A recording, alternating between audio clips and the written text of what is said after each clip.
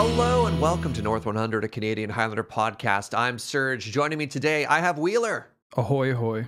Reminder that North 100 is brought to you by you with your support over the Patreon at patreon.com slash loading ready run. Welcome to part two of our Streets of New Capenna set review. Today, we're going to be covering gold cards in the bizarre distribution that is this set. We managed to cover everything else in the first episode, except for one card, which I think may have been an oversight. Wheeler, why don't you start us off? For the real meme lords out there, it may have been an intentional oversight, but let's uh, let's just get this out of the way. Luxior Giada's Gift. It's a one mana legendary artifact that happens to be an equipment. It says equipped creature gets plus one plus one for each counter on it. Equip permanent isn't a planeswalker and is a creature in addition to its other types. And equip planeswalker for one generic, equip to a creature for three generic. And that was all from memory, Serge. Really? Yeah, people are really excited to play this card with Devoted Druid. I feel like I've talked about this card with Devoted Druid quite a bit. For those not familiar with the interaction, basically you tap to put a minus one minus one counter on it to add a man to untap it rather, and then it gets plus one plus one because of that counter. So it kind of cancels out. So you can make infinite green mana using that. Oh, Mhm. I get it. So Yeah. And it just so Oh. happens to be a one mana artifact, meaning that you can find it with Urza Saga, and it's an equipment. So if you're a green white deck, you could also find it with, I don't know, Enlightened Tutor, which finds Swift reconfiguration, which is the other kind of thing that combos with this, or Stoneforge. So that's appealing. And like, yeah, maybe throwing this on like a Garruk could kill someone or a Gideon. But like, I don't know. I'd rather just play Skull Clamp. You'll probably it's the kind of card where it's like, yes, it does go infinite, but it doesn't have that same kind of shine that like Swift reconfiguration has or you know, walking ballista has. It's just this one's a bit easier to find. So yeah. eh, what- this is the least excited I've ever heard you about an infinite. Ah, that's not true. We found plenty of like derpy combos in the past. Yeah, it's not like I mean, I think I was p- pretty unimpressed by the infinites from Urza Lord High Artificer, but that was mostly just like, oh, so you're going to do it for me, huh? Way to take all the work out of it. Yeah, I mean, at the end of the day, you have a big creature that has no evasion, and you're like, sure, Cool. Yeah. All right. Well, let's move on. The first gold card we're going to talk about today is Aven Heartstabber. This is a two mana, one one bird assassin for a blue and a black. It has flying, and as long as there are five or more mana values amongst cards in your graveyard, it gets plus two, plus two, and has death touch. And when it dies, mill two cards and then draw a card. So if you have a graveyard full of stuff, it's a 3 3 with death touch. This card's kind of cool. It's sort of a like build your own. Oh no. Oh no. Wheeler, did you forget too? Are you making fun of No, me? no, I'm not making fun of you. I'm trying to let you do your own work here. You know, not I'm not going to Urza your way to the card. Yeah, Baleful Strix. There we go. you there we go. so I like this card less than Baleful Strix. Um, Baleful Strix draws a card when it enters the battlefield that always has Death Touch, and it's an artifact which synergizes a lot of other stuff. This card's kind of neat, but I think if you're playing a blue black deck that's trying to put cards in your graveyard and do stuff, you're probably better off playing the Delve creatures, uh, which would actually anti synergize with this, but you're doing the same thing in, in Mhm. both of those decks, and I think this is a less exciting way to do it. That being said, a two mana flyer creature carries a Jitte pretty well and Yeah. might, probably has a home in some of those decks. And the fact that it dies, fills your graveyard, does help synergize with those types of decks that want cards in your graveyard, anyways. So I'm I'm willing to give this a shot, you know. I'm ambivalent. I'm I'm I'm not saying I hate this card.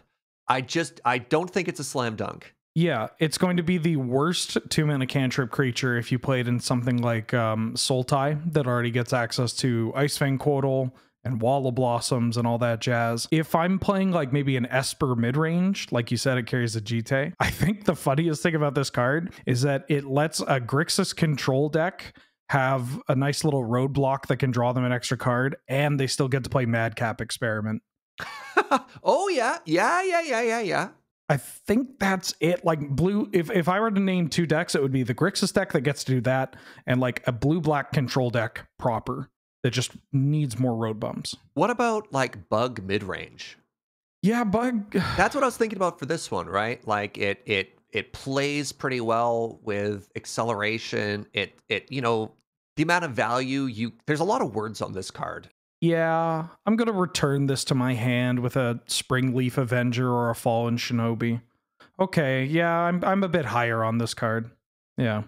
Thank you, Serge. I look forward to killing you with this deck at the next Friday Night Paper fight. Here's a card that might kill someone at a Friday Night Paper fight. It's Controller. James, play the laugh track, please. This is Black Market Tycoon. It's red and a green for a 2 2 cat rogue. It says at the beginning of your upkeep, Black Market Tycoon deals two damage to you for each treasure you control. And it taps to create a treasure token. My Discord went wild when this card got previewed. Like they lost their mind. The idea of creating treasure tokens and it's just two damage is what they said before I came down from the mountains with two stone tablets and said like, "No, look how wrong you are." This is I, I don't like this card. Uh, I don't like this card at all. Yeah, yeah. I I will say the one home where I actually don't hate it is like a Gruul monsters or mid-range deck with more five drops than it probably needs to have. but like how many elves do you need to play before you start considering this? Because it has summoning sickness, right? Like this is not great mana acceleration. Right. You play it because it's like a Lotus Cobra in a deck that only really needs that boosty for one turn because a dragon's going to kill your opponent. That's the only home that I could see it where you're like you play all the one drops and you're on like double like mana crypt soul ring or like double mox mana crypt and you're just trying to play big idiots in red green. And you know, the best part about Lotus Cobra and Paradise Druid is that they attack for two. And then occasionally they will, well, not occasionally, they will add some mana. So I think, you know, if you want some redundancy in that line, this is still like a better body than, say, a Sylvan Caryatid. You know, this can actually attack, which is pretty important. All right, all right, okay. Overall, I'm still on team. This is more litter box than cat. I I think again, anytime you're evaluating a mana dork, you have to think about where it's accelerating you from, mm-hmm. and this is letting you skip 3 mm-hmm. Like going from one to three, which is what a mana elf does, is very important. There's a lot of those really powerful three drop mana accelerants that gets you from like three to five or three to six. But I don't know. I don't know if two to four is that important. It's like the four drops are pretty busted, you know, and like questing beast is a pretty strong card. So like four is very important, but at the same time, like you are a deck that is making the conscious de- decision to play dragons. And so you want that big leap that Lotus Cobra can provide or the security that Paradise Druid can provide. So, like, that's why to me, again, this is more like, hey, look, Ma, I can hold a Jitte well or, or like a skull clamp and trade with something big. But I, I did forget that it's a 2 2 for 2. yeah, yeah. yeah. All right. Next up, we have Body Dropper. This is a two mana 2 2 Devil Warrior. Whenever you sacrifice another creature, put a plus one plus one counter on Body Dropper and a black and a red and sack another creature. Body Dropper gains menace until end of turn. I think the first maybe question that people are going to ask themselves is is this does this go in aristocrats?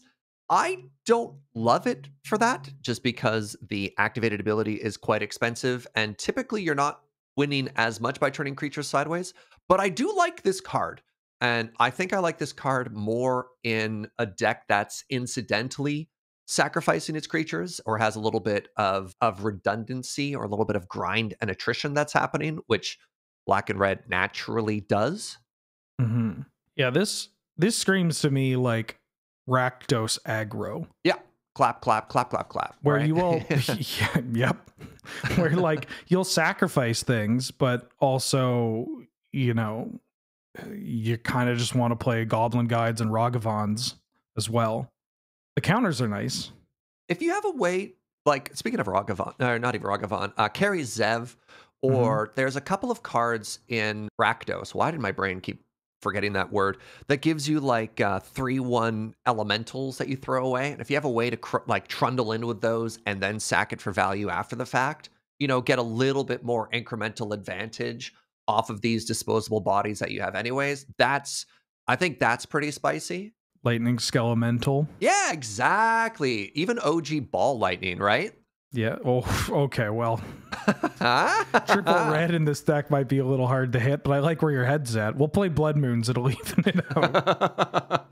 Speaking of, here's a three mana enchantment Broker's Ascendancy. It's green, white, and a blue for an enchantment. At the beginning of your end step, you put a 1 1 counter on each creature you control and a loyalty counter on each planeswalker you control. This is theoretically an enchantment that doesn't do anything. right? That's my biggest issue with this. It's, yeah, it, it's just these kind of cards are really good when they get played and do something. but they're really bad when you're looking for anything relevant off the top of your deck and you draw this, you know? And it's not the kind of like speed in which other cards like uh, Jitte or a, or a sword can make a creature a threat, right? An immediate threat, or something like Kessig Wolfrun, for lack of better options. I even like let's just compare this to Glorious Anthem. Yeah, You know, a three man enchantment that comes down and gives your board plus one plus one immediately. Yeah. Sometimes that's what you need, right? Like immediacy and pressure and ease of casting. And it's just like if I'm playing Bant, do you know how many three drops Bant plays? It's there's there's just no room. I think that's the biggest issue. Yeah. This this kind of just falls in the category of there's not enough room, but also it's a card made in 2022. So if it hits the board and there's enough going on, you will lose to this, but it is not the correct choice. I'm curious if this gave the counters at the beginning of combat. Oh yeah. That I think that's a bit of a that's that's a changer for sure. Yeah. I think it does enough at that point because it's it's that immediacy, right? It changes that math. Yeah, and that works so much better with like creature lands as well. Right. God, creature lands. Yeah. Speaking of the brokers, let's talk about their charm. A broker's charm is a three mana instant for a green, a white, and a blue. Choose one. Target creature you control gets plus one plus zero until end of turn. It deals damage equal to its power to target creature or planeswalker an opponent controls. Not even fight, just punch. Destroy target enchantment or draw two cards. I like everything that this one has to offer. I think it offers enough flexibility that you're pretty happy to cast any mode. And I think the best words on this card are or planeswalker. I think that's very, very good. I I always it's always nice to see a disenchant that, you know, if it's not disenchanting something, which there are more targets than ever, it can just draw you two cards. Or a thing that'll be recurring comment on any triple uh pipped card nowadays is this pitches to endurance, solitude, or a subtlety. yeah, and force of will. I And mean, Force of Will. about Yep. yeah, right. Yep. And disrupting shoal and force negation. Like it's just there are like the strength of some of these multicolored cards, especially the charms, which I think makes them a bu- whole bunch better, is that they all actually just have this secret mode of like, and if none of these apply, then you, great, it'll pitch to whichever incarnation or elemental uh, you want. So that yeah, I think this one's likely the one of the best of the I- bunch. so I was I was gonna I think we can save that discussion after the last charm. Yeah. But you don't want to blow it on the first one? yeah. Okay, well, how about we start adding some more charms to this list? Love it. Cabaretti charm. It's a red, green, and a white for an instant, and the three modes are Cabaretti charm deals damage equal to the number of creatures you control to target creature or player. Creatures you control get plus one plus one and gain trample until end of turn.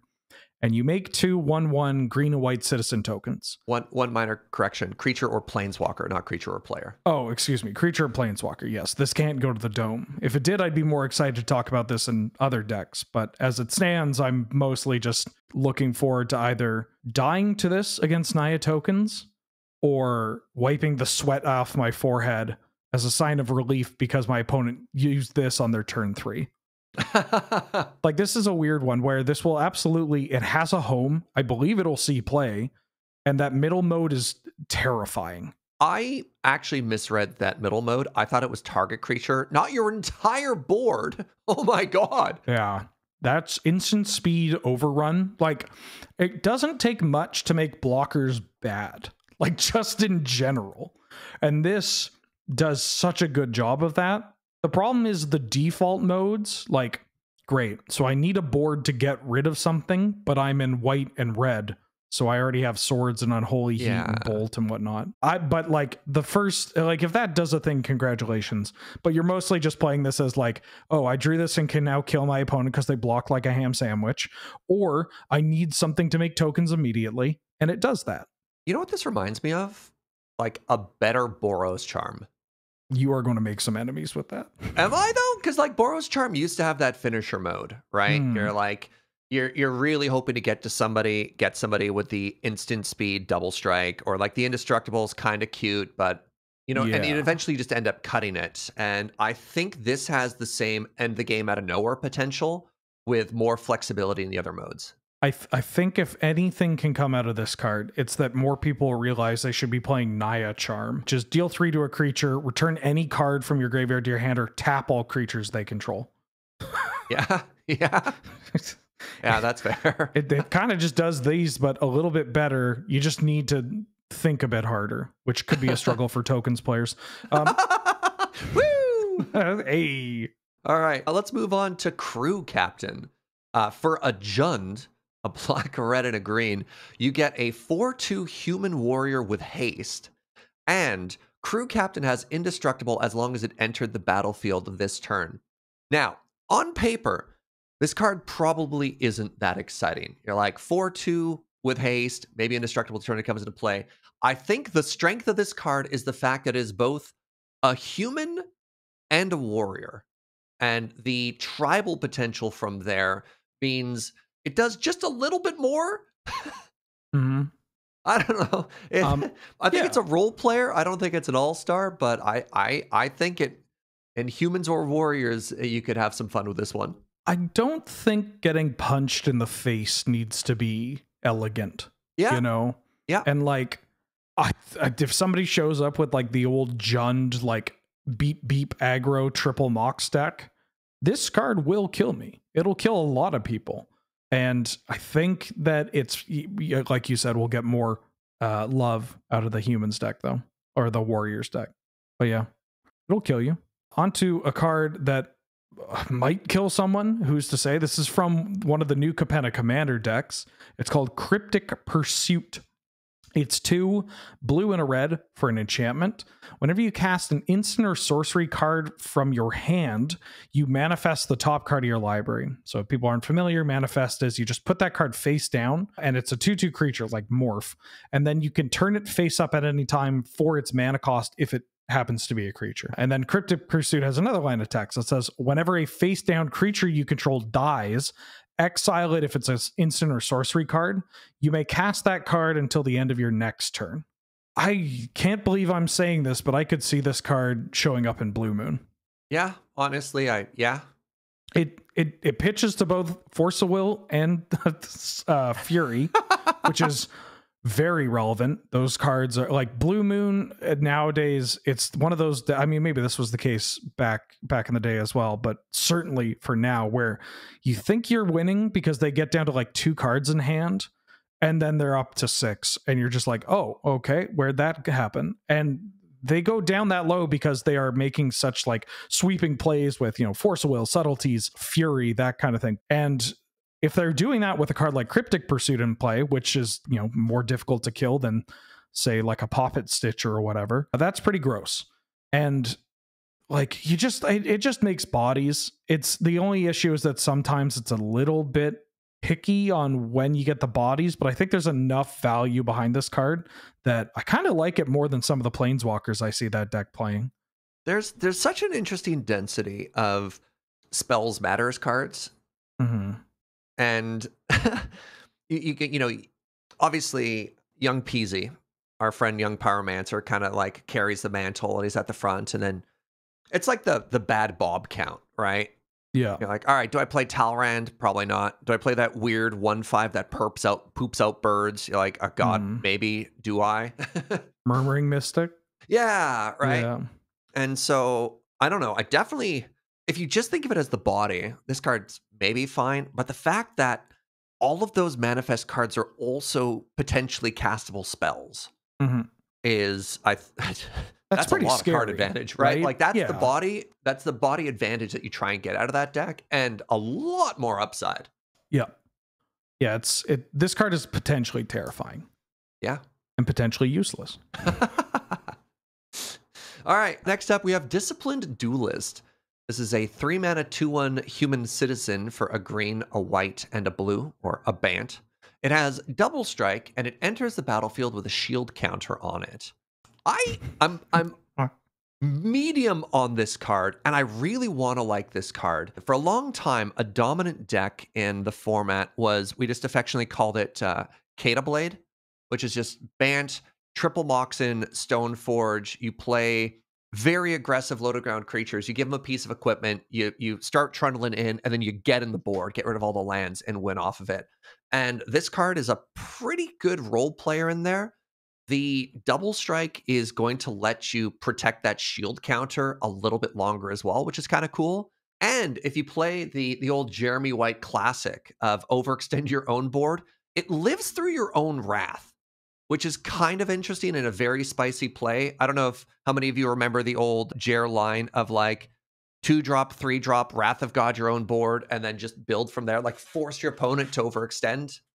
Loxodon Smiter into Wrath of God. Yeah, Yeah. right. Now, the issue here is three mana is a very heavily contested slot. So even though this card could be a role player in this deck, I don't know if it edges out anything, you know, a lot of the other very powerful cards at that CMC or mana value, pardon me. But double strike and Jitte are BFFs. So I, I- I think I think you could play this. Yeah, I like it. I like it. It's it's simple. Kills people. Not like endless detour, which doesn't kill people, just prolongs the game. It's a green, white, and a blue. It's an instant. And it says the owner of target spell, non-land permanent, or card in a graveyard puts it on the top or bottom of their library. Uh, I mean, okay. This card does a lot of things. Some of these modes are better than others. Overall, this is annoying. This is the kind of card that I don't think I'll ever like. I won't. I don't include this kind of card in my control decks, you know, because it's just it's unnecessarily flashy to me. Which, like, I'm not playing control to be fancy. I'm playing control because you know I've got this foil Jason the Mind Sculptor. It's not going to cast itself, you know, or like just like ah, I'll do. Well, actually, you know what? That's kind of fancy. Now that I'm saying that out loud, I play it. I, I the cantrips, swords to plowshares. What's not to love? But like a three mana spell, like it's flexible enough. I guess if you're going to dedicate one like three mana spell, like reactive spell to your deck, or maybe two, if it's disallow in this card, that's fine. I'll allow it. But I, it's too expensive for mid range decks, in my opinion. And yeah, not my kind of card, but wow, will it make uh, me irritated in match? Well, the the tempo player in me is a little bit higher than you are on this.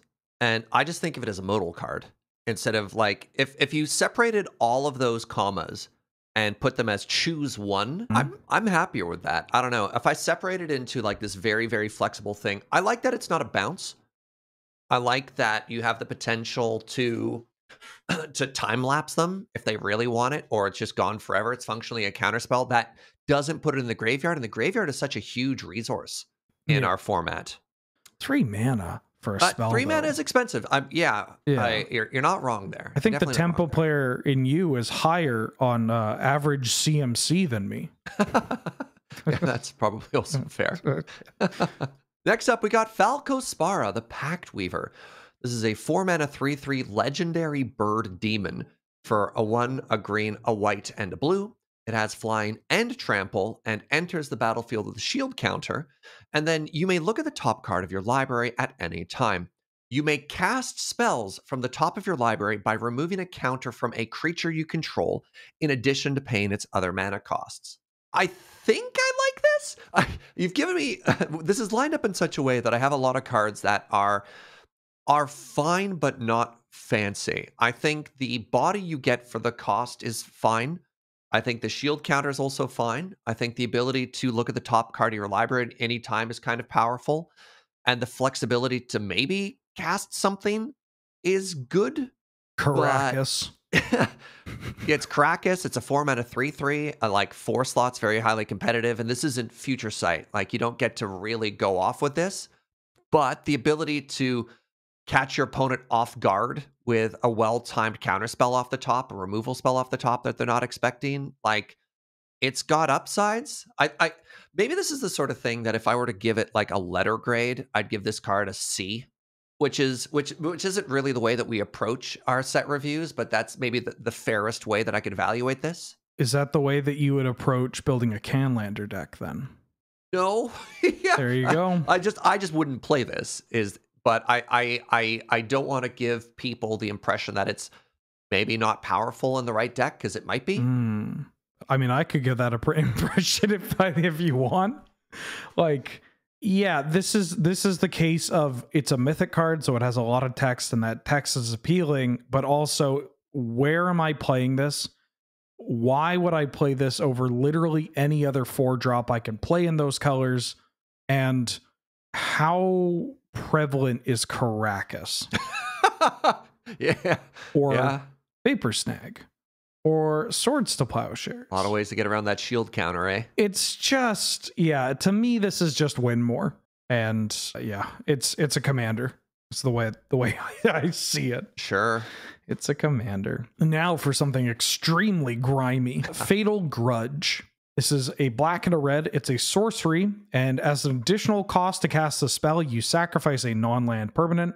Each opponent chooses a permanent they control that shares a type with the sacrifice permanent and sacrifices it. Draw a card.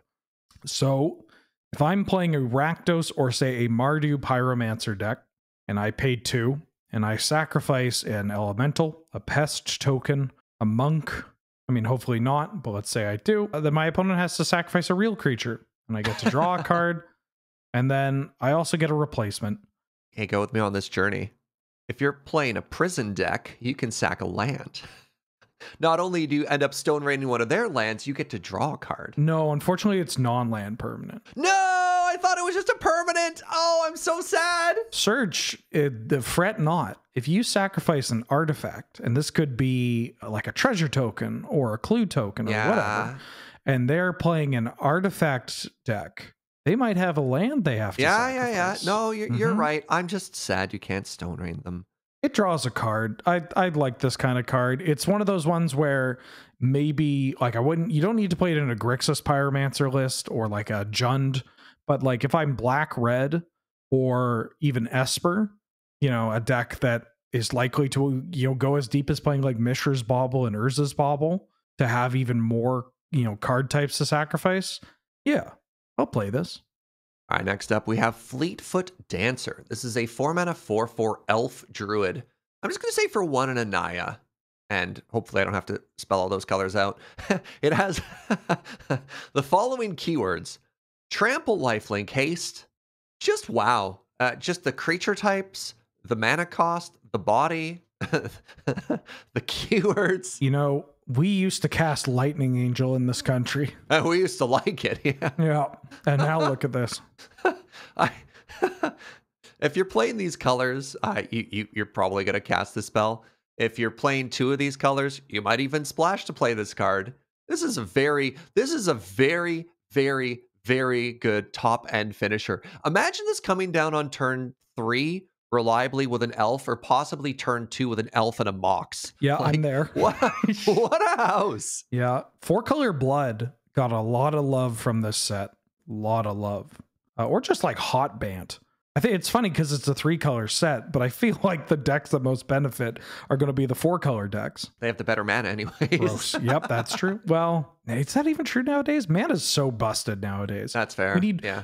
Finish like the horizon cycle for enemies and then just we're done just make reprints we're good speaking of good actually maybe i don't want to say that it's incandescent aria for one cabaretti mana which is a naya it's a sorcery that deals three damage to each non-token creature so if i'm playing tokens what are some of the scariest cards you can think of is it goblin rabble master Legion Loyalist or Le- Legion War Boss, a Monastery Mentor. It's just like I'm trying to find a home for this and I can't find it. I don't particularly want to play something like this in Scape Shift, although that's kind of, you know, it's nice that this pitches to stuff.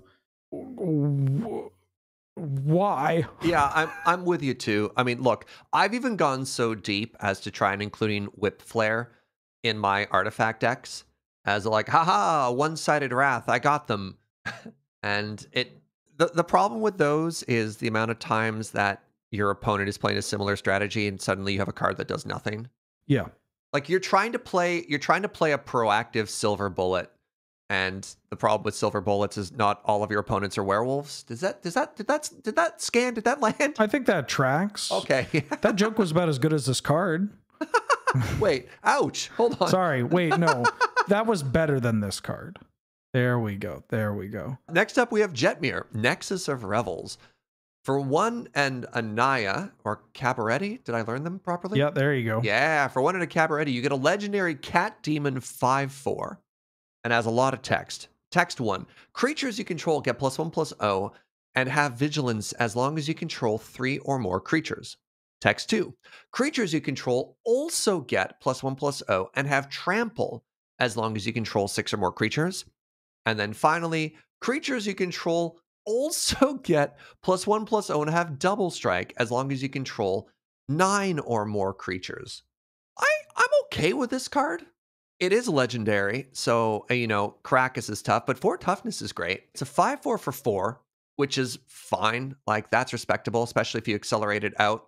And if you're a tokens deck, this is the sort of like immediate impact that you really want to see in an anthem. And this is an anthem that turns sideways. So, like, Naya tokens, go for it. Like this'll this'll kill people. Yeah, this this kind of just has I mean cat tribal as well. well let's let's give credit where credit is due. But uh, yeah, it, it's just like the first line of text says if you cast one other spell this game, you get that. So like if you play this in decks where you know, this is usually not a good way of evaluating cards, but if your deck isn't doing this, you've already lost the game. I'm terribly sorry. But it basically just says like it's a four like you operate as though that first line of text is always met.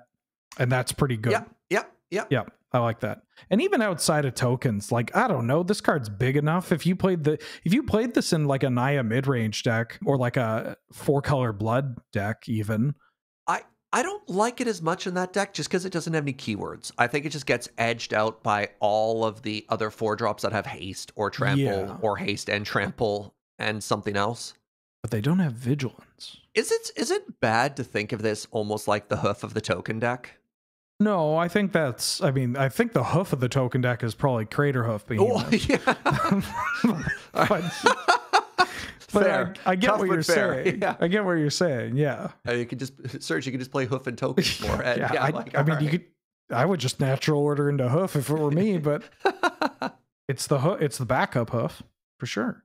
All right, here's a mouthful. Lagrella the Magpie for green, white, blue. It's a 2 3 legendary human soldier.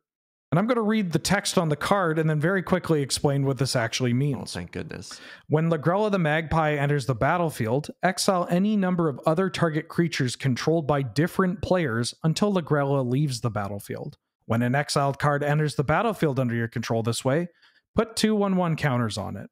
Basically, this is like one of the cards Banisher Priest or Fairgrounds Warden, where you can play it, have it, and then have it exile an opponent's creature until this leaves play. But Lagrella also lets you exile your own stuff. So you could pick one of their creatures and one of yours, or just one of their creatures, or just one of your own creatures. And if you exile any of your own creatures, when they come back, they're bigger. And that's why I like this card, because I just read the text of what the card does, and all that is good. It, I mean, in like a Bant Blink deck or even like maybe a Bant Spellseeker pod deck, it's weird to call that a pod deck because you don't even play spell, uh, pod anymore.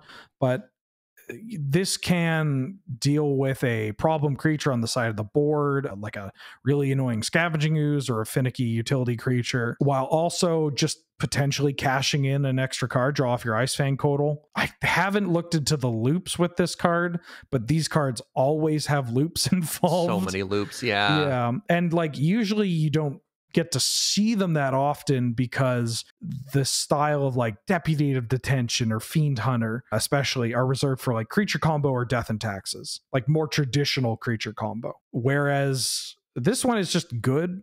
It's easy to cast which is a weird thing to say nowadays but i would rather see this mana cost than say like green green and then another one. Absolutely. Yeah. yeah i think this card's pretty good. Good creature type as well. Next up, we have Maestro Charm? Maestro? Maestro, right? maestro's charm yeah Maestro Charm casts for a Grixis, so a blue, a black, and a red. Choose one instant. Look at the top five cards of your library. Put one of those cards into your hand and the rest into your graveyard, Chef Kiss. Or each opponent loses three life and you gain three life. Or deal five damage to target creature or planeswalker. I think this is a lot of flexibility. I think the fact that this puts the cards into your graveyard instead of on the bottom of your library is going to make a huge difference here. I, I think all these modes are totally fine. Pick a card, fill your graveyard for your Aven Heartstabber or or something else. Five damage is a lot. That'll absolutely blast most creatures that are a threat. And you know what? You'll probably in if you play a lot of Grixis, one of these days you're gonna win a game or like muck combat math enough to be able to live through combat with that second mode and then win on the crackback. So yeah, give it a try. Isn't it wild that this doesn't kill Oko or the Royal Scions? This card does, though. I mean, maybe slowly until it turns into an elk. All right, never mind. Maestro's Diabolist. It's a Grixis, so uh, blue, black, and red for a 1 4 vampire warrior with death touch and haste. And whenever Maestro's Diabolist attacks, if you don't control a devil token, create a tapped and attacking 1 1 red devil token with when this creature dies, it deals one damage to any target. I like this card a lot. Do you? All right, please go on. Maybe it's just because I'm getting big, like, Savage Knuckleblade vibes from it. From the, like, now's your chance, Ben. Now's the time to play this card without people judging you. It's new. Get it out of your system. But, like, a Grixis mid range or a Grixis, like, modernized control list, you know, where it still plays creatures, this card's annoying. like, that's a huge butt. That, but that's what I was gonna say. Like, I know it's annoying, but it's is it annoying as a defensive threat? Like, where does this go? Does this hold back the board in a Grixis control deck and then eventually on free turns chip in, right? Yeah, I think so. Like, I think this just makes your board frustrating. Like, the devil tokens attack shockingly well because you don't want to block it. And if they do, maybe that point of damage kills off a planeswalker, kills a utility creature, you know, whatever. This card is reasonable at chipping at planeswalkers, especially ones with higher loyalty, which means that you can use uh, low damage spells in Grixis, like Prismari's command or Kolaghan's command, to more efficiently kill off like lingering planeswalkers. And if this just hits the table, attacks once, and then just waits to attack until it you need another devil, I'm okay with that. Hmm. It's easy to cast. It pitches to force of will. You know, it pitches well. Yeah, I think there's enough good going on for this card that I I I'm willing to give it a shot. And honestly, it's one of the more exciting cards. One of the more one of the cards that I'm most excited to try. That's that's wild to me because I look at this and I I go with me on a journey here. Okay.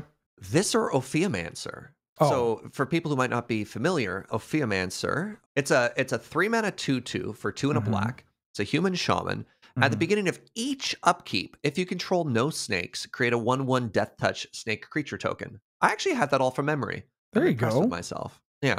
I looked it up after. I like the body better from Ophiomancer. The tokens for the chip damage have death touch. You get one any turn if you're just kind of throwing them away. I, I don't know. Like my my issue with Ophiomancer is that it's sixty dollars or whatever. oh no, it just ties to shock. And I don't think you can afford a defensive card that dies to shock in that deck, you know? It, I think I think they do slightly different they have slightly different homes, Hmm. but like I get what you're saying. This goes beep beep Serge. it does go beep beep. All right. Next up, we have the Nimble Larcenist. This is a three mana, two one bird rogue for a white, a blue, and a black. It has flying, and when it enters the battlefield, target opponent reveals their hand. You choose an artifact, instant, or sorcery and exile that card. All the text on this is very good. I Mhm. just don't know many decks that want a three mana two one in constructed. That that that that's my that's my take on this one. If it had flash, maybe right? Like yeah.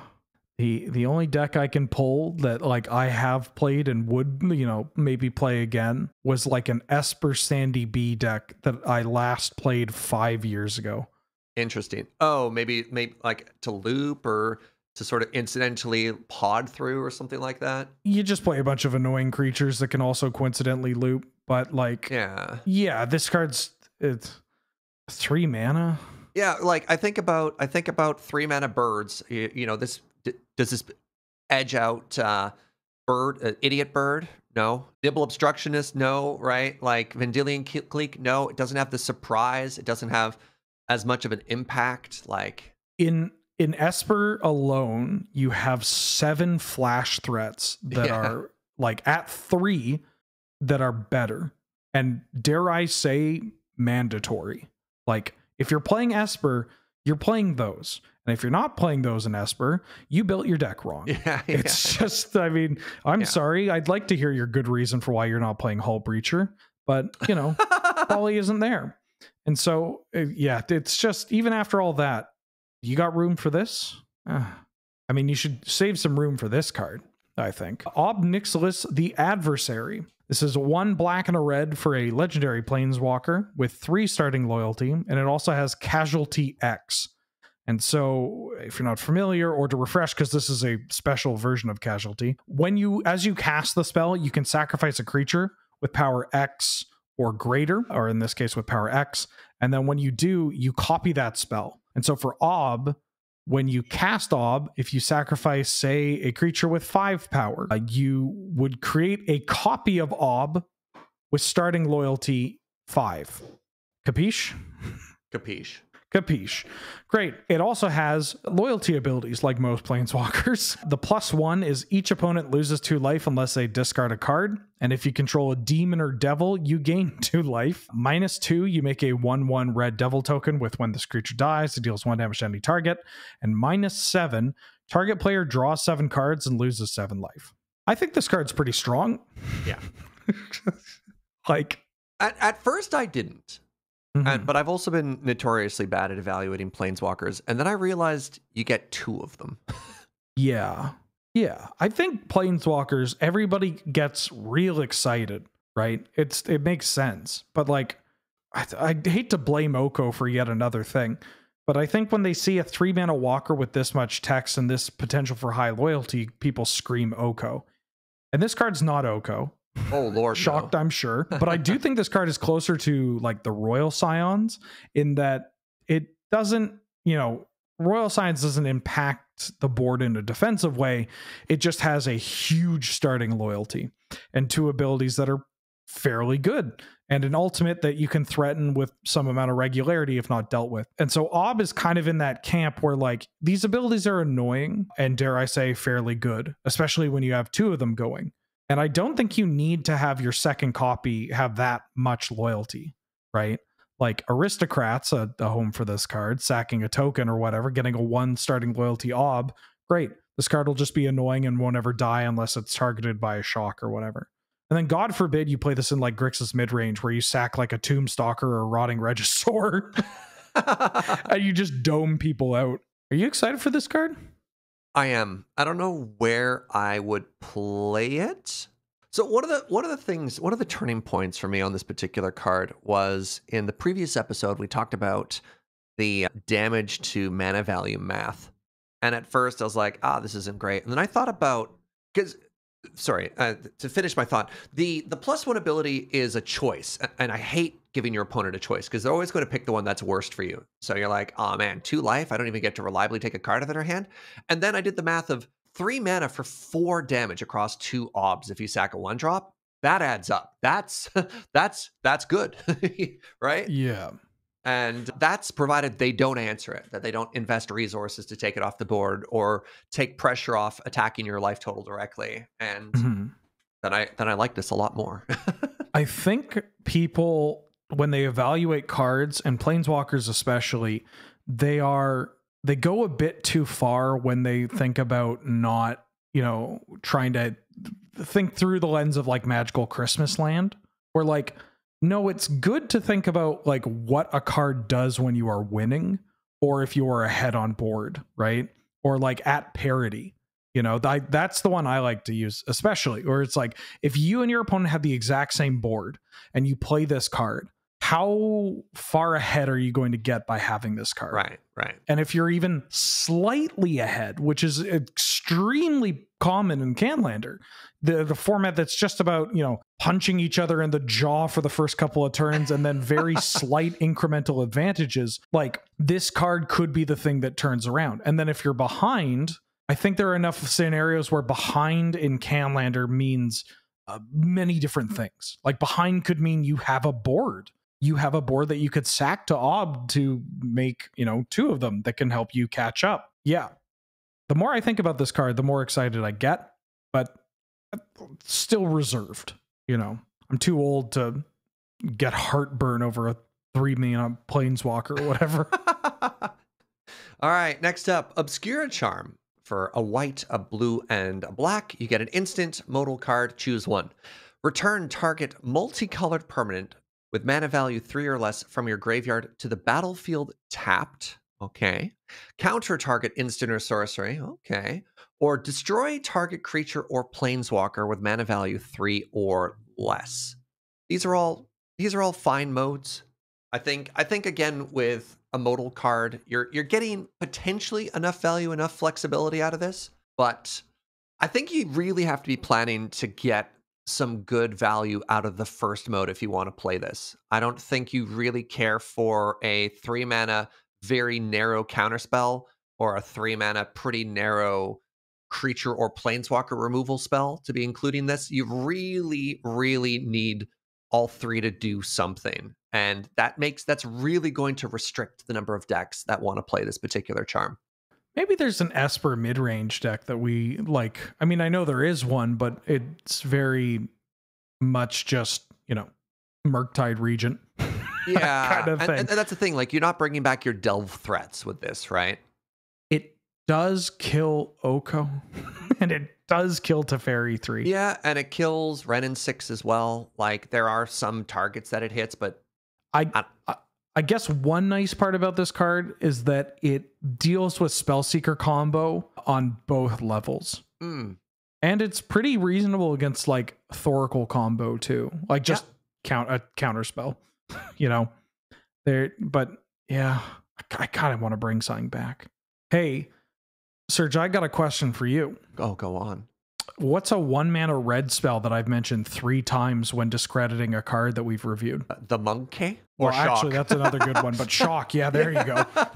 Just keep that card in mind while I talk about Obscura Interceptor. Uh, one white, blue, and a black for a 3 1 Cephalid Wizard. Nice to see Cephalid's back. With Flash and Lifelink. And when Obscura Interceptor enters the battlefield, it connives.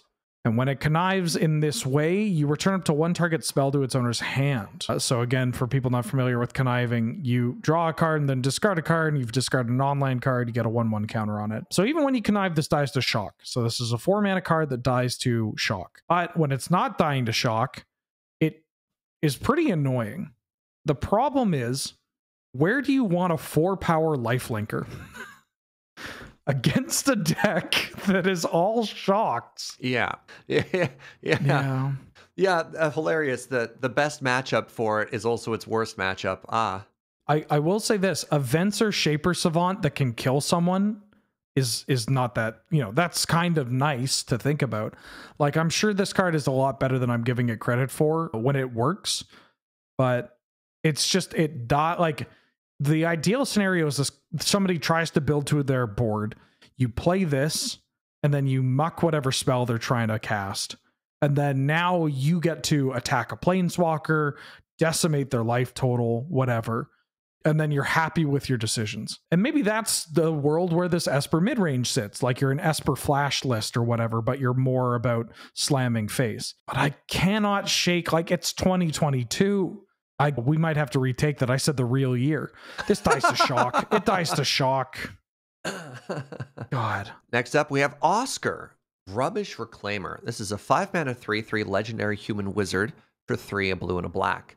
But the spell costs 1 less to cast for each different mana value amongst cards in your graveyard. Now, that only reduces colorless. You can't get rid of the blue and the black, so you could potentially have a 2 and a 3 3. And whenever you discard a non land card, you may cast it from your graveyard. This card's kind of cool. Yep. Big fan. Yeah. It, it, I don't, I don't know what else to say. Like, uh, there's not a ton of insight into it beyond it, it does what you know what it says. Do you have a do you, do you have a home specific for it? Oh yeah, reanimator. Oh Yeah, mostly mostly Worldgorger reanimator style decks because it lets you when you're Worldgorger looping. This is a great thing to get out to actually have a way to kill them, which is kind of funny. It's very it's like I'll play this in like a blue black control or a blue black X kind of control deck, like a delve kind of strategy. Because that first line of text is just like, come on, come on. You couldn't just like give this uh, like it's so I don't know. Maybe I'm just obsessed with it. It's like it costs one less to cast. Okay. Uh, I crack a fetch land and Yeah, I play now- Serum Visions. yeah, like yeah, now, yeah, yeah. it's just so easy to achieve. Yeah. I, I like this card. I don't think it needs to be too fancy, but you can get fancy with it. And overall, it's way above rate. So you mentioned uh, blue black control. Mm-hmm. Is this a mid range card or is this a combo card? Because I, I think it's much spicier in that world Gar- that world, Worldgorger combo that you were mentioning. I don't love it in a control shell because I think it's too vulnerable. Like I don't think the body's big enough to play a role when you want it. This is bad Goyf. And if you want it for its engine ability, it's very vulnerable. Then you probably don't want to sink any of your resources trying to protect it, right? Yeah, I think I play it in more of the control to combo kind of area. Or like when I say blue black, I don't actually think you like you don't have to get super invested into this card, I don't think. The fact that you could Karakas it itself to protect it is kind of appealing Sure. and there are more looting effects like careful study being played in basically every blue deck you know that wants to play all these cantrips this or you know jace Vryn's prodigy thirst for discovery Yeah, search for Azcanta or whatever. Okay. yeah i think there's enough to justify that second ability it is you can't get lands which is a bit poo poo where like containment construct technically lets you do that but a 3-3 for 2 is like honestly this providing a roadblock uh, or a speed bump rather might just be enough because sometimes that's what blue black needs the biggest issue with blue black is that you can't really beat jackal pups and this beats jackal pup So a while ago, you just got me thinking here. Nick P, a friend of ours, brought Grixis Aggro. And his rationale was, you know what three very powerful spells are? Like Lightning Mhm. Bolt, Thoughtseize, and Brainstorm. Or, you know, Goblin Guide, Bob. This like super low to the ground Grixis deck. mm-hmm. What do you think of a two mana three three that gives you value out of your graveyard for something like that? I yeah, I think that's I think that's where we're looking at. And I think that instead of Goblin Guide, we get Ragavan. Yeah, right. Yeah, yeah. And course. instead of like needing to play Carnophages, we just play Gurmag Anglers. I think I think that's kind of where the Delve deck, where the divide between like a Grixis Delve and a Grixis Control deck gets split. It's just like I'm not playing counter spells. I'm just thought scouring myself so I can get a Murktide Regent to kill you on turn four, or like Death Shadow stuff. You know? Yeah. All right. I like Oskar more now. Does that make him an Oscar admirer wiener? No, that joke's terrible. Anyways, let's talk about a palette cleanser. Park Heights Pegasus. Green and white for a 2 1 flying trample Pegasus. And whenever it deals combat damage to a player, draw a card if you had two or more creatures enter the battlefield under your control this turn. I mean, it's a two mana, two power flyer with trample. That's pretty good. And if you have creatures come into play, which green white can do, that's also pretty good. Like just playing like I up I play a planes I use a planeswalker and I play a Llanowar elf. like great. I like this card. It's I think it's very straightforward and simple. I look forward to playing it in I mean green white aggro could play it because if you just like play two one drops, you're getting something that's kind of neat. But flying and trample on a two power body is is is good enough for me to try this in like a mid range deck as well. I want to Like, try it um, in Sanct in uh, Sanctum Stompy. Yeah, there you go. I want to give it Rancor. I want to I want to suit it up with a bunch of stuff. It's got two forms of evasion. hmm So if you let this bad boy or Pegasus whatever, if you let it grow, it's really going to get out of hand. Yeah. It's a very nasty bird. Yeah. Next up, we have Raffine, the Scheming Seer. This is a three mana, one four legendary Sphinx demon for a white, a blue, and a black. It has flying and ward one. And whenever you attack, I like the, the wording there. Whenever you attack, target attacking creature connives X, where X is the number of attacking creatures. I I like this. Mhm. I think this is very interesting, and I think this gets out of hand very quickly because not only does does connive let your creatures grow, but it gives you a tremendous amount of card selection, which blue decks love. And as we've talked a bunch here, blue and black already have a lot of built-in ways to leverage the graveyard as a resource. I think this card is fine by itself uh, if it's your sole threat, and I think if it starts to get some backup, it starts to get really out of hand. Yeah, this is the kind of three drop once I go through all those idiot birds where I'm okay playing because it just it's so hard to kill. Yeah. Doesn't die to bolt. Ward one even makes it annoying against Karakas. And like, I don't know, you got some tokens from your monastery mentor or Sedgemoor Witch or whatever. Conniving seems pretty strong. And if you have a bunch of flyers or itself, that's going to rack up damage so fast. yeah, Yeah, this card's scary. Yeah. Honestly, I mean, we've talked about a, a bunch of cards in this color wheel that are all kind of geared towards air superiority and this sort of um, incremental advantage, as opposed to, you know, like the big flashy idiots we've seen in in Mhm. Naya or Jund. And I think I think Raffi here is enough to maybe maybe tip the scales and making it a little bit more of a of a real archetype. Yeah, baby beluga. Is that what we're calling it? Maybe we could call it baby blue, white, black. all right. All right. Hey, here's a uh, segue. It's a Rigo Streetwise Mentor for hybrid green, white, white, and then hybrid blue, white. So you can play this for triple white or some combination of those. You got a 2 2 legendary cat citizen. And when it comes into play, it comes into play with a shield counter. And whenever you attack a player or planeswalker with one or more creatures with power one or less, draw a card. So, Serge, Mm-hmm. Soul Wardens. oh They got- no! They got no! one power, huh? Well, I, I thought of this car a- card as I wonder if this is the same trap as uh, Mentor of the Meek. When you're like, oh, I'm gonna get so much value out of this, and you're like, oh no, it didn't quite work. it's i think it's like that except it's more accepting that magic the gathering will get played you know like mentor of the meek has a, a bunch of hoops that are relatively easy to jump through in theory but in practice you're just like oh i paid three mana for a 2-2 that died to shock or like i so i need to untap and i need to extend more into this board and i need to have mana up whereas rigo's just like play me and then attack right yeah, play me and then attack with your Martyr of Sands or your An Esper elf. Sentinel or whatever. An elf. Yeah. Yeah. exactly. And then you get to draw a card. That's kind of spicy. Do you like it? Yeah. I don't like the flavor, but I like the card.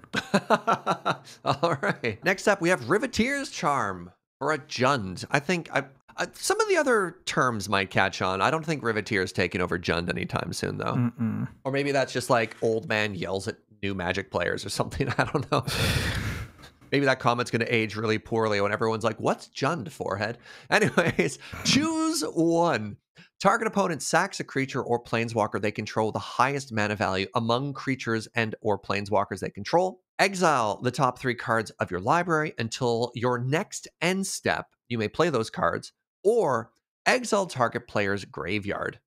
This is okay. It's got, you know, good flexibility as well. Destroy their scariest thing. The timing specifically for the exile here is pretty nice, especially if you do it at your opponent's end step or something like that. Like it gives you it gives you some time. There's like a fun window where you can play a lot of those cards. And the emergency panic button of graveyard height makes it fine. It's not terribly spicy, but again, if you're looking for a modal card and you're worried about large creatures, if you're if you're really worried about, I think specifically Reanimator, this this deals with it either proactively or reactively, and uh, it just gives you a bit more gas. But I'm kind of meh on this one. Gets rid of Murktide Regent. It's rid of Murktide Regent. Yeah. Let's talk about a very good magic card, shall we? Rocco, Cabaretti Caterer for X, and then Naya, red, green, white. Uh, you get a 3 1 legendary elf druid. When Rocco enters the battlefield, if you cast it, you may search your library for a creature card with mana value X or less and put it into play. Then shuffle your library. Okay. huh. They made Chord of Calling a creature. Interesting. And an elf druid at that.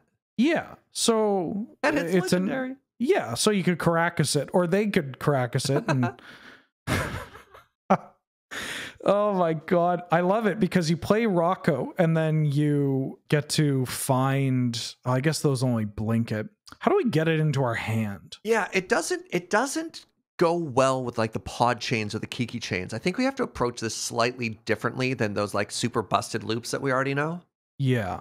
I'm still okay saying that this card is very good and will play it in every creature combo deck that can cast it because it's just so easy. Like, even if you just play it for zero and find yourself like your Dryad Arbor in like a hoof list, if you're playing like the red white or the sorry, the red green or the Naya version of hoof, like just play this. Like that deck, I think the red green hoof should probably just be Naya, anyways.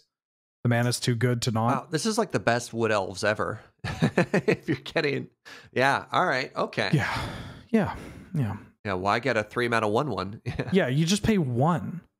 Like, what if you played this and then paid one and found Quirion Ranger or Wirewood Symbiote? Oh, I cracked it. Never mind.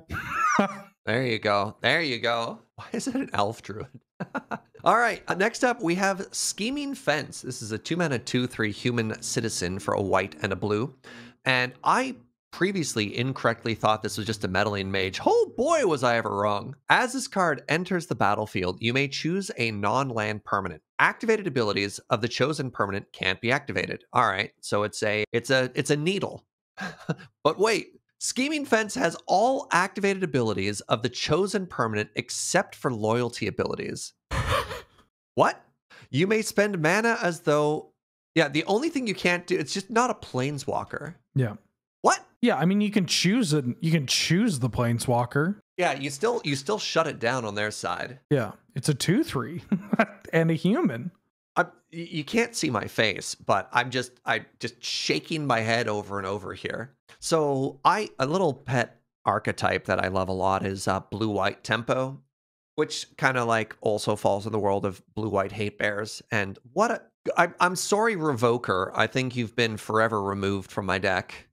Yeah, I mean, for for what it's worth, you can't preemptively name something. Yes, yeah, you have to pick a permanent that's already in play, which Revoker does give you the advantage over. Yeah, so Time Vault makes this a bit awkward, but you know who's playing Time Vault? you could play Thoracle now, but there are other stuff where it could be a little little awkward, right? Like uh, birthing pod decks or whatnot. Turn this into a pod.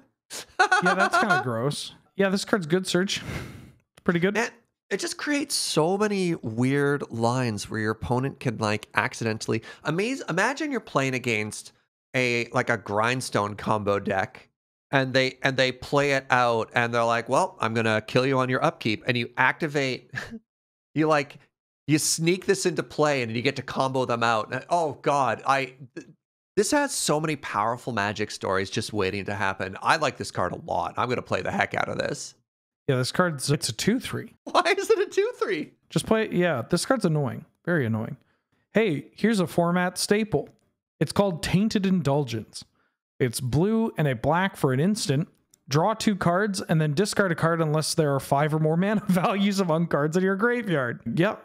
Cool. I'm wow. playing this in every deck that has blue and black. Hey, here's potentially another format staple Void Rend.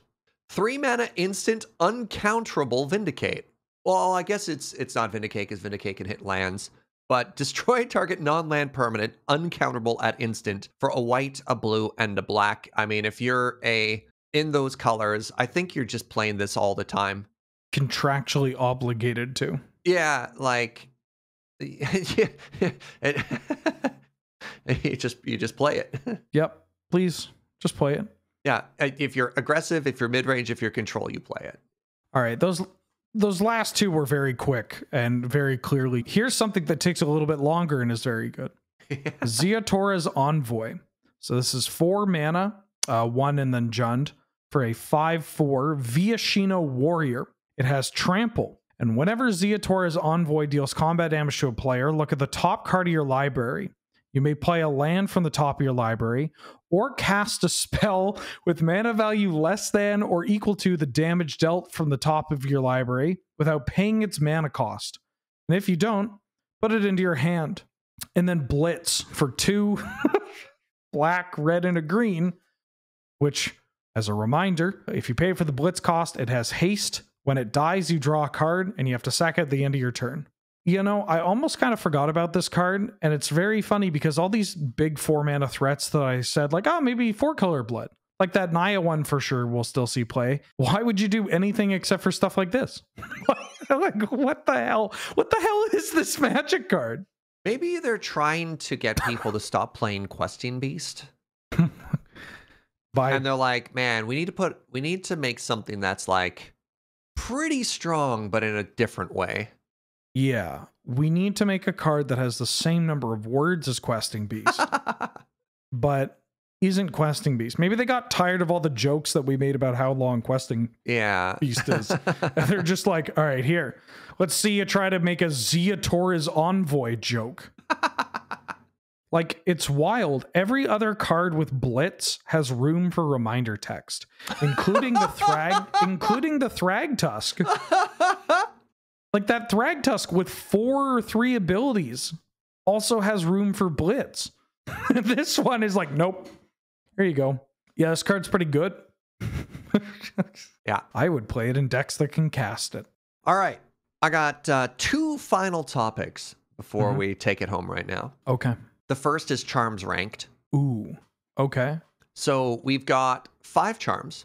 We have uh, Brokers, Cabaretti, Maestro, Obscura, and Riveteers. And I think we're both on the same. Oh crap! All right, hold on. Let me let me try and organize these here.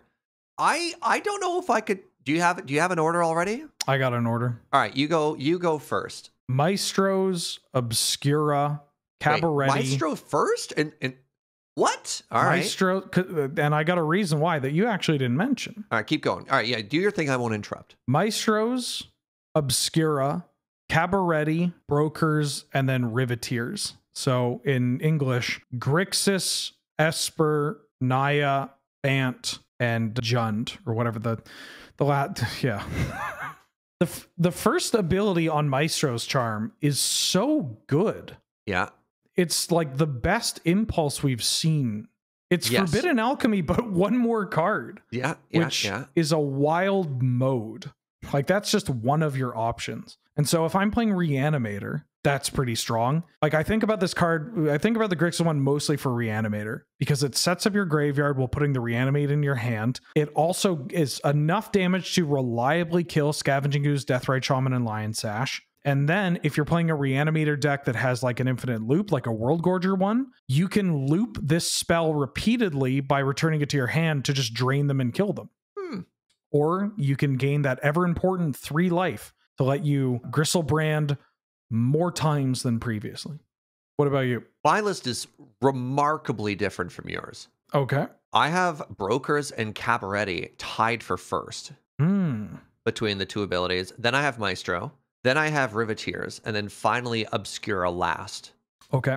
And I think, I mean, maybe you talked about Naya Charm probably just being better than Cabaret Charm, but I look at what they offer to the specific archetypes, and I think the flexibility is just better. But I, I- again, your your combo implications for Maestro is probably pretty right.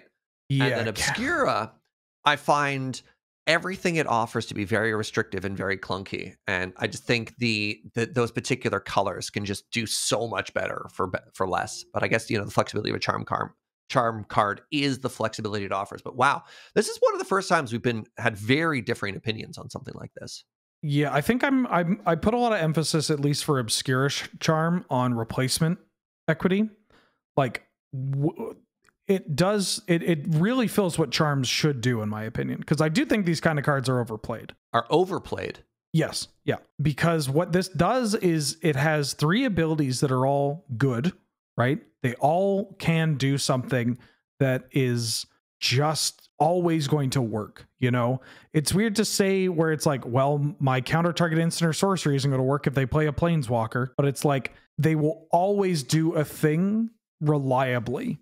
And what they are doing is going to be like will always be what you're hoping to get. Do they have a creature that's a creature or cheap planeswalker that I need to get rid of? It'll always kill it. There's no Huh. Scavenging Ooze big enough. Do they have a madcap I need to counter? Yep. Do I have a thing I need to get back from the graveyard? This one's a little bit rocky, but the ones that you can get back are likely some of the best cards in your deck. You know, even if it's just getting back a Baleful Strix or that Aven Heartstabber or a Teferi or an Oko, you know. Oko in our four color deck now. Yeah.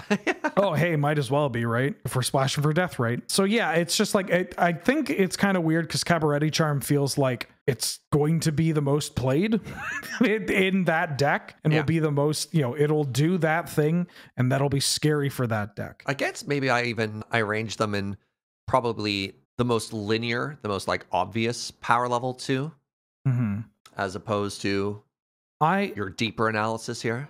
I want to make one plea to you. Oh, go on, please. I'm not here to tell you Obscure Charm you should be the second best or whatever, because again, that, that we really don't know until we play it. Yeah. But there is one thing I do know, Serge. Uh huh? You're out of your goddamn mind if you think I'm going to cast Riveteer's Charm or anyone else is going to cast Riveteer's Charm profitably. Oh yeah. Oh, maybe that was supposed to be last. Yeah. All right. That's fair. It's I just look at this card and I yeah. All right. All right. All right. I'll change it. laugh. Riveteers is last. yeah. Okay. Okay. Okay. I don't know. I just found I just found Obscura so. I think Riveteer's Charm knows what it wants to do, and that's just not good. But it has a good identity, and Obscura Charm just feels all over the place. yeah, Obscure Charm can definitely be the classic like oh they cast a planeswalker and it was a 4 mana planeswalker and I don't have anything to return to kill it. Yeah, you like it literally blanks three for three on that one, right?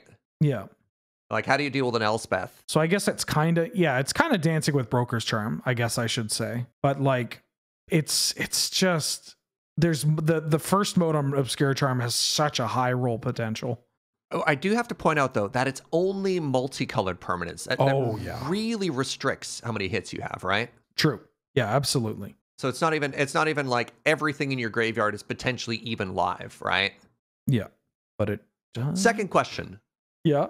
or maybe more of a closing statement. What are your thoughts on this set? Do you like it? Uh, I think I said it in the first episode. This set could just be the five tri lands and unplayable garbage, and I would have been happy. But instead, we got the five tri lands and then a bunch of neat little role players and uh, juice to some archetypes that kind of needed love in exactly this way. You know, like the cheap blue black cards so that they don't die to jackal pups. Uh, a bunch of cards for like a, a green X mid range deck that you know, like it's weird to say, but like Jund mid range has enough tools to potentially keep up with like a blue deck now, which is kind of neat. And Scapeshift, like, wow, triumphs for Scapeshift. What about you? I want to I want to say I'm medium on it, but preface it specifically in that it feels like all the cards they've added are for decks I don't play. Yeah, that's fair. Except for maybe Scapeshift. I've been known to I've been known to Valakut a person out here here or there. Yeah. I mean, obviously it's got very cool cards, hmm but I've never been like a four color blood player. I've never been like a mid-range aggressive player. And as That's- such, it, it does it's not going to be as memorable for me personally. But I Mhm. think it is going to be good for the format in that it, it hasn't given us anything super busted. It's just added a bunch of cool cards and cool finishers, specifically I'm- in like three and four drops. I bet you would love four color blood. Like, I'm not a four color blood player, but I bet you would love four color blood. I could see you falling in love with four color blood. The problem is it's a linear strategy that wins games of magic, and that's not who I am, Wheeler. yeah, but you can. I mean, you could play so much garbage in that deck too. like, you don't have to play a good build. if I don't have to jump through at least three hoops to win a game of magic, am I even playing magic? That's true. Okay, five color zoo. oh, oh, you have my attention. huh? There you go. Domain tribal. All right. Dear viewer, that's going to do it for our set review. Thank you very much for listening. Hey, any cards you think we missed, please let us know in the comments down below. We'd appreciate it. A reminder that this podcast is brought to you by you with your support of the Patreon over at patreon.com slash run. I've been Serge, joined by the wonderful Wheeler, and we will see you next time. Bye-bye.